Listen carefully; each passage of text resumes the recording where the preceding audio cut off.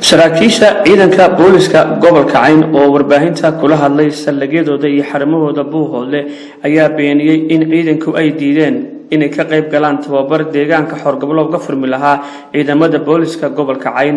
Sidoo kale waxay eedeen u jeediyeen taliyii qeybta booliska gobolka cayn jaamac saxardeed barre oo ay sheegeen in maleeshiyaad beeleedyo ka kaxeeyay deegaano hoos yimaada buuhoodle islamarkaana ka dhigayo ciidanka booliska gobolka cayn. Waxay fareen u direen taliyaha booliska gobolka waxay fareen u direen taliyaha booliska puntland. Madaxweynaha madaxweyne ku-xigeenka oo sheegeen in ciidankaasi aanu ahayn ciidankii booliska buuhoodle waxaa halkan ugu horeyntii si wada jira uga hadlay gaashaanla dhexe ibraahim maxamed cabdi afhayeenka ciidanka booliska gobolka cayn iyo gaashaanla dhexe xasan maxamuud bare taliyaha saldhigga dhexe ee buuhoodle ka saxaafadaydu ay daaran tahay waxa weeyaan. Tababar ciidan xorgoble ayaa amarna lagu soo siiyey inaannu soo gurno xorgoble nimaadno. Arrintaa waannu ka cudur daarannay.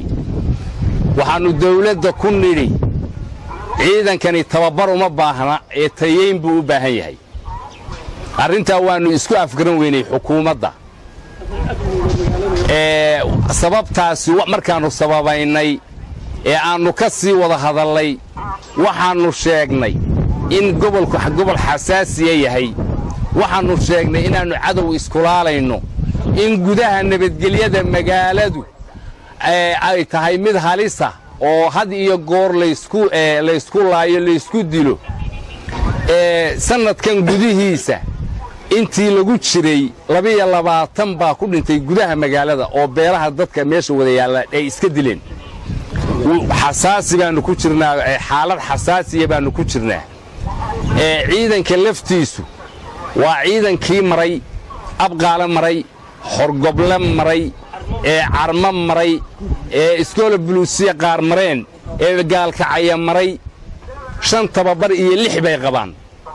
Tayayn iyo qalabkii iyo waxay ku shaqayn lahaayeen bay koruqaadid cilmiba iyo tacliineed bay u baahan yihiin. Oo lagtara waa guud ahaanna sagaashan iyo sagaal baannu nahay. Gobolkoo dhan. Waxa dhacday haddaba. Arrintaasi markay noocaa u dhacday taliyihii qaybta buliiska ee gobolka cayn.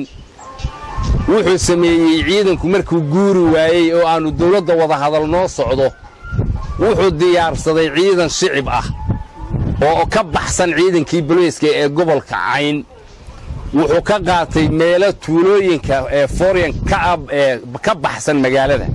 Ayuu ka qaatay ciidan shicib ah oo maryacalas ah ee isagoo ka dhigaya ciidankii buliiska inuu soo raray arrintaa waxaannu ka digaynaa oo aannu dawladda u sheegaynaa oo madaxweynaha u sheegaynaa golaha baarlamanka iyo golaha xukuumadda ku wargelinaynaa in ciidanka uu wato taliyaha qaybtu aanu ahayn ciidankii bulayska ee aa wada hadlayseen ee meesha idiin deganaa.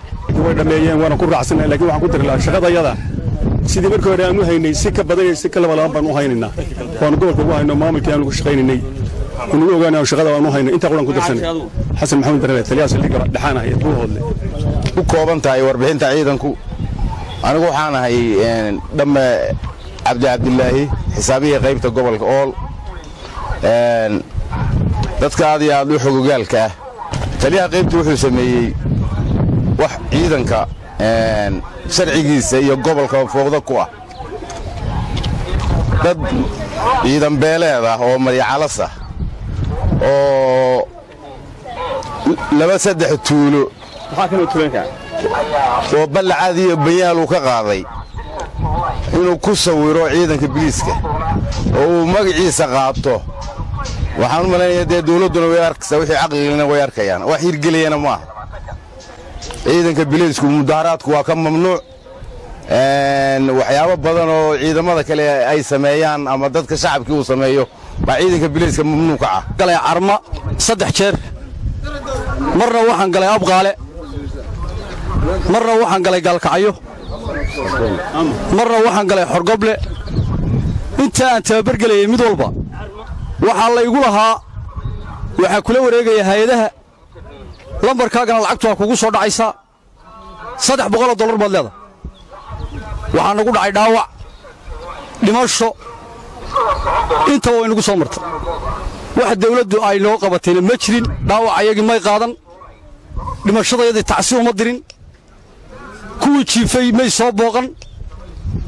Soddon iyo shan askari ayaa dhaawacooda waxa la geeyey gaalkacyo sidaa awgeed maanta waxaa jira duruufo adag. Waxaannu joognaa gobol koona ah. Cadow badan baannu leennahay siyaasado badan baa nagu dhex